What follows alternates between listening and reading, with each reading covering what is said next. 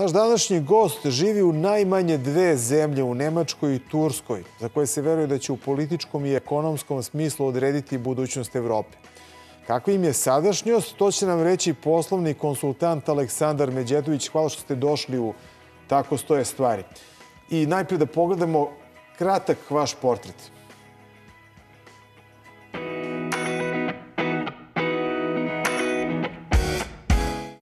Aleksandar Međedović je uspešan poslovan čovek. Njegov posao je da u nemačkoj organizaciji predstavlja turske privrednike na sajmovima, ali i njihove privredne interese u Srbiji. Rođen je u Nemačkoj i govori 11 jezika. Nema ga na društvenim mrežama jer ih kaže ne voli. Smatra da ništa ne može da zameni živi susret. Školovao se u Nemačkoj i Francuskoj. Zanat je ispekao u Americi. Zahvaljujući tome objedinio je tri filozofije poslovanja. Srpsku, Nemačku i Tursku. Deceniju i poživi na relaciji Istanbul-Berlin. U hotelima provodi oko 220 noći godišnje, a domom smatra Istanbul i Vršac, rodni grad svoje majke. Kaže da bi voleo kada bi mogao da vikende provodi u Srbiji.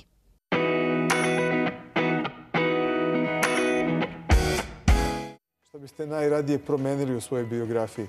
Pa, to je veoma teško reći, ali verovatno e, ono da 15, 15 godina živim u Turskoj, živim 20 godina sada, a i hoteli, putovanje je izuzetno naporno i to da ih ne bude više 200 dana ili kako? Da ih bude ispod 50. To ispod 50 dana da. godišnje. Da. Zašto je terorizam u Turskoj toliko prisutan poslednjih godina?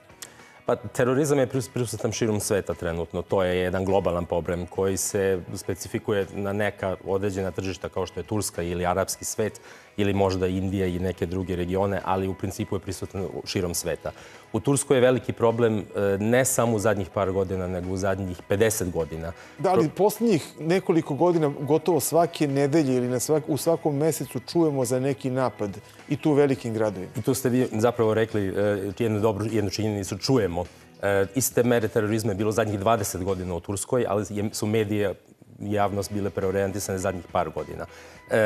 Uzroci su poznati, e, pojave Al-Qaide širom sveta i naročito u regionu su jedan razlog i ajde da kažem, unutrašnji problemi Turske sa, sa, sa kurdskom manjinom, odnosno sa njihovim radikalnim predstavnicima koji su delimično zabranjeni u Turskoj i oni su, tu je bila jedna koncentracija aktivnosti zadnjih pet godina i rezultati su ovo što vidimo, što vi kažete malte nedeljno na, na televiziji, napadi u velikom stilu na razne slojeve društva. To znači da su Turci navikli da žive sa tom opasnošću. Teško je navići se da nam se može iznenada dogoditi neki, mislim, to postoji naravno na Bliskom istoku, Izraelu pre svega, ali teško je navići se evo u Evropi, u evropskom delu Istambula na takve napade. Pa evo, vi pitate to pitanje mene direktno, pošto ja živim tamo. Znači ja se osjećam u tom smislu kao Turčin ili barem kao građanin Istambula.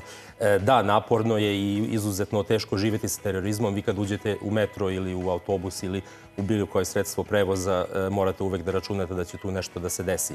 E, s tim rečeno, to može da se desi oko sveta. Ja sam imao druga iskustva, kao što znate, u nekim drugim gradovima Evrope, e, gde mi se to desilo, što sam želeo da izbegnem u Turskoj celih 20 godina.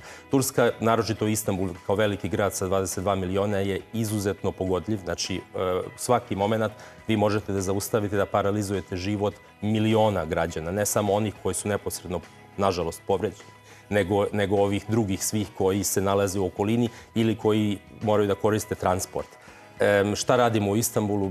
Prvih par dana posle nekog napada gledamo svi da izbegnemo javno, javan prevoz ili, ili neke druge masovne, neka druga masovna okupljanja. I onda, ja mislim da je to ljudska narava širom sveta. Nažalost, naviknemo se na tu situaciju i delimično, postepeno krećemo da, da koristimo opet prevoz ili opet da budemo među većim grupama ljudima. I tako se nastavlja. Kako, a kako to utiče na posao? Pa, ja mogu iz ličnog iskustva da vam kažem, a opet to iskustvo je sazrelo u 20 godina, da relativno malo utiče na posao u Turskoj i generalno na ekonomiju. Vi bi bili začuđeni koliko dobro turska ekonomija funkcioniše generalno, na generalnom planu, a i u specifičnim situacijama. Ja u 20 godina nisam doživeo da se nešto zaustavilo bilo gde, da li u Istanbulu i da li negde na drugom mestu u Turskoj, samo zato što je nažalost bio neki teroristički napad bilo koje veličine i bilo, ko, bilo kog efekta. E, Turci su izuzetno izdržljivi, oni imaju i kratkotrajni i srednjotrajni i dugoročni plan e, u glavama i na papirima kako žele da sprovede svoj, da žele da sprovedu svoj posao i oni to prate stoično. I opet vraćam se na onaj argument koji sam malo pre naveo, Nažalost, e, navikli smo se na to, ali ja mislim da je to prednost dan, u današnjem svetu. Vi ste došli tamo 97. ili kada? 97. 97. Da. Kako je izgledala turska privreda tada u odnosu na današnju? Pa mogu tu da budem veoma iskren, to je bila ekonomija trećeg sveta. Znači, moji prvi utisci su bili, mada sam i tada video naravno jako, jako sređene situacije, jako dobre privrednike i upoznao sam niz privrednika koji su i tada već poslovali na velikom nivou, ali ipak je utisak bio jedne apsolutno haotične, neorganizovane ekonomije koja je udaljena od bilo kojih svetskih pokreta koja tu funkcioniše sama za sebi i koja ima jako malo veze sa time što se dešava u svetu. Kako se to promenilo? To se promenilo, pa kako da vam kažem, evo jutro u Beogradu imamo minus 5 ili minus 4 stepeni, a zadnji put kad sam ovde boravio bilo je plus 35 u augustu. Znači, to je jedna radikalna promena u zadnjih 20 godina. Turci i turska ekonomija i privreda su postali izuzetno ozbiljan svetski igrač koji, koga niko ne može da zaustavi trenutno. Ni terorizam, ali ni politički pokreti e, igraju u prvoj ligi, Turci su orijentisani ka izvozu. Njihova stopa rasti je uvek, uvek veća nego, nego što je stopa rasta u Evropi. One su ove godine usvarili 4%, kad uporedimo Francusku sa 1,3 ili Nemačku sa 1,7, to je duplo više. 4% na veliki obim, da. inače, znači da. nije na, na neki sitan obim, oni imaju ogromnu, ogroman GDP, je li tako? Da, oni imaju ogroman GDP, oni imaju pre svega e, ogroman izvoz i ciljevi ekonomije i ciljevi izvoza su veoma dobro definisani. E, turska vlada je izdala već pre par godina, ne ove godine, nego pre 3-4 godina, cilj da se za stoti rođendan Republike Turske 2023. godine ostvare jedna milijarda izvoza. E, kao što se to dešava, trenutno smo udaljeni od toga, ali sama činjenica da oni sami sebi stavljaju cilj da će to da postignu u jednom određenom vremenu za dobro države i za dobro ekonomije, mene to impresionira. Mene to stvarno sa njihove strane e, svaki put divim se toj energiji, e, kako, kako oni pristupaju poslu u Turskoj i širom sveta.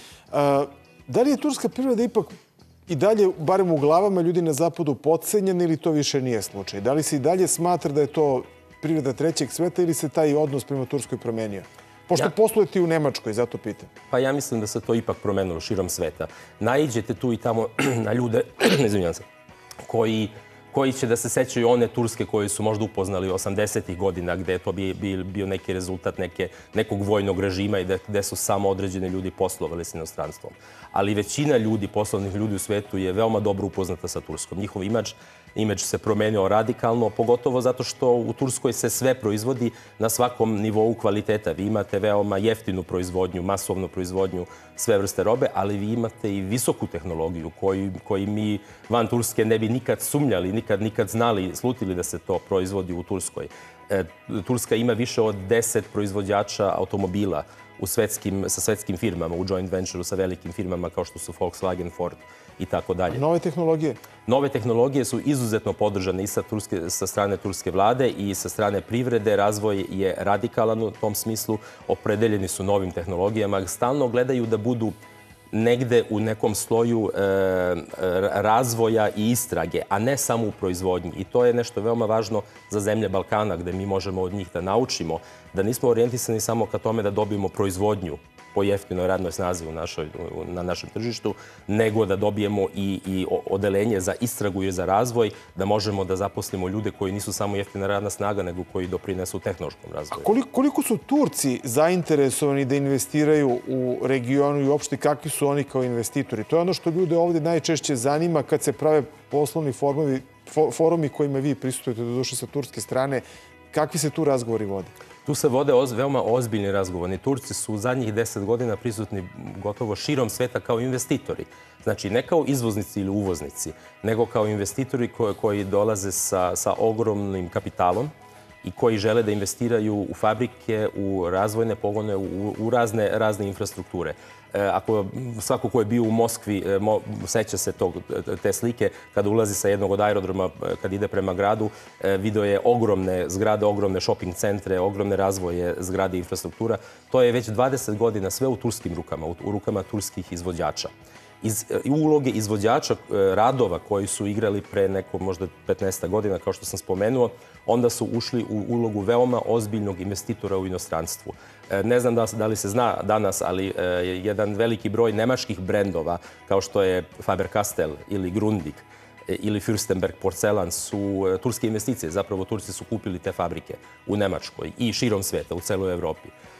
Oni su veoma zainteresovani uh, za investicije ovde na području Balkana ili Zapadnog Balkana i Srbija privlači veliku pažnju za njih pošto oni, oni su upoznati sa, našim, uh, sa našom industrijskom prošlošću uh, i orijentišu se ka time gde im je najlakše da počnu proizvodnju i interesa investicije. Šta bi im recimo bilo interesantno u Srbiji ako gledaju tu industrijsku prošlost?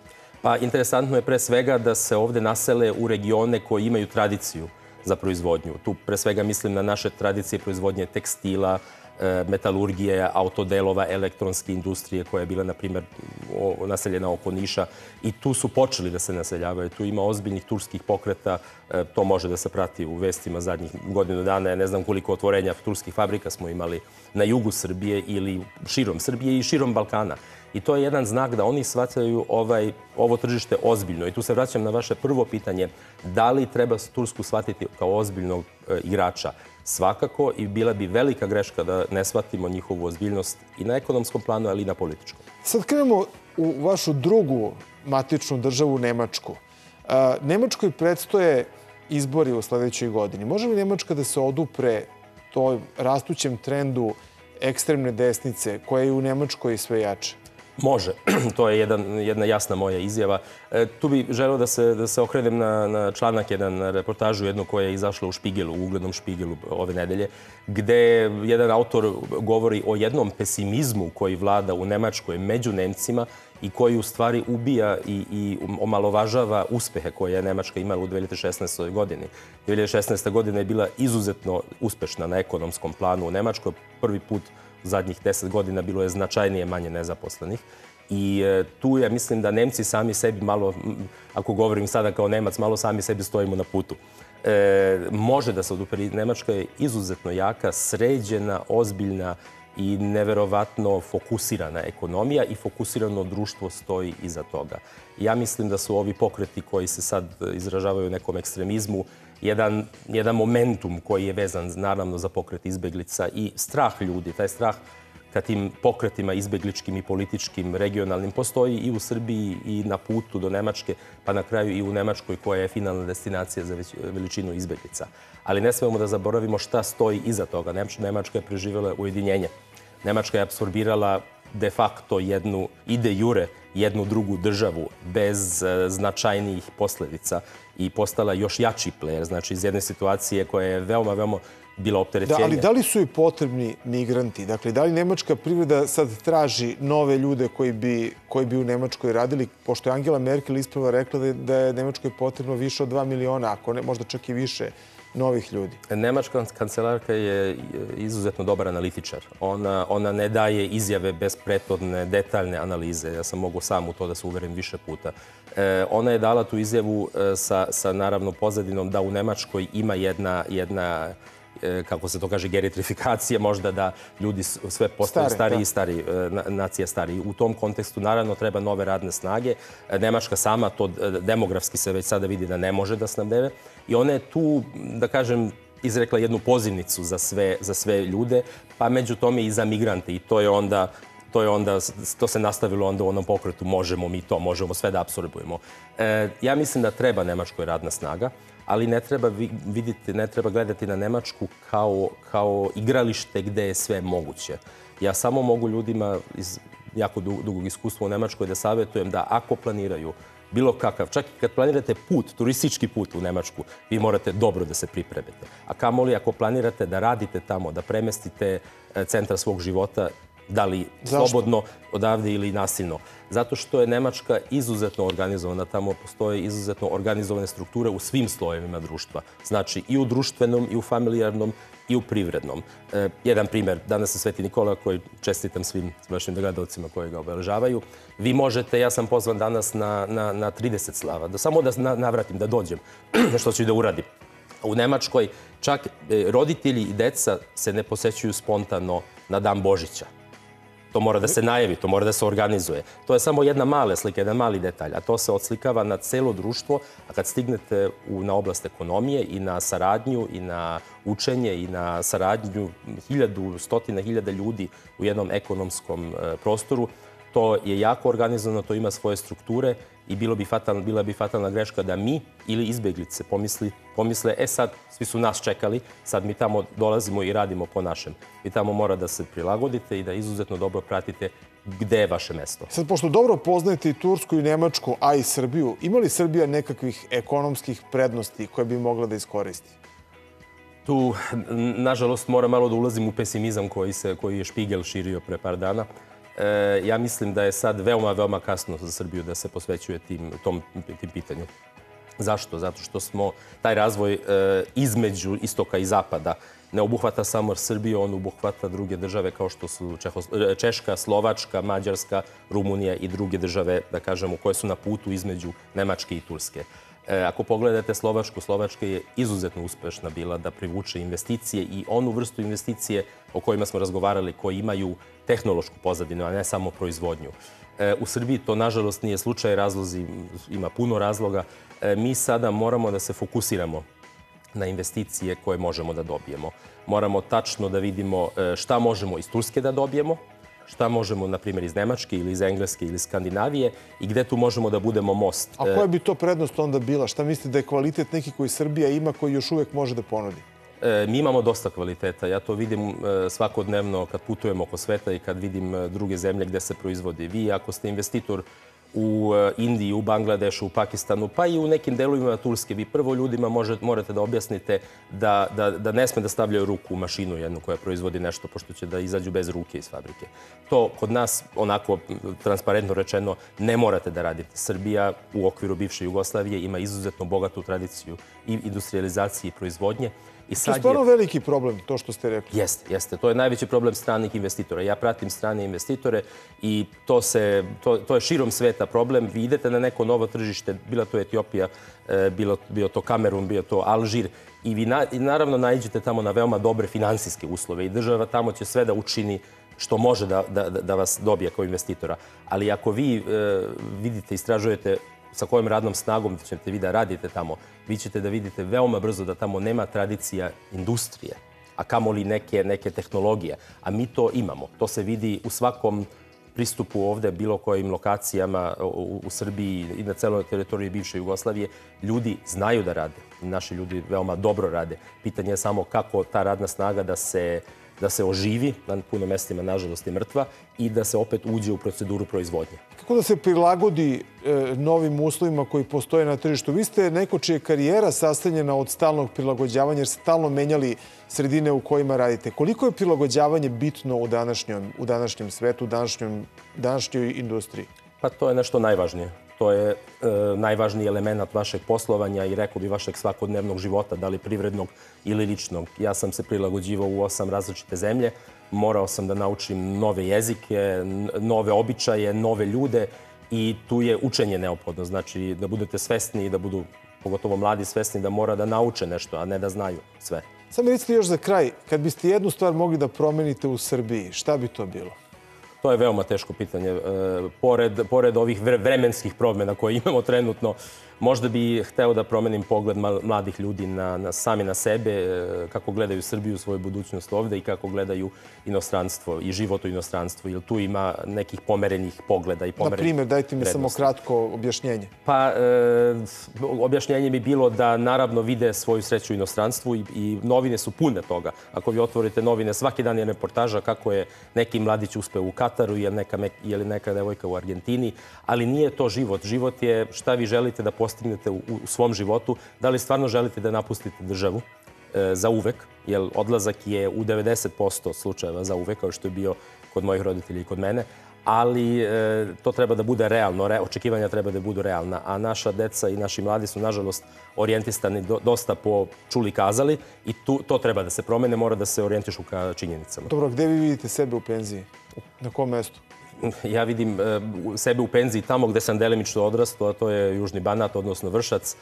Prelep region ako bi mogao da da proizvodim nešto u, u okoline Vršca, e, nešto u poljoprivredi. Vino. Bio, bio, bio vino ili, ili lešnik je bilo šta drugo ili maline ili šta god tamo može da se, da se proizvodi. Ja bi bio veoma srećan. To su izvrsni ljudi tamo. To me inspirisalo i u detinstvu i ostavilo utisak na mene. Tako da penziju vidim u Vršcu, samo ne vidim tu godinu još. Da, Aleksandre, hvala vam što ste bili u Tako stoje stvari. Bio ovo Aleksandar Međedović, poslovni konsultant nemački, turski i srpski, ako tako mogu da kažem.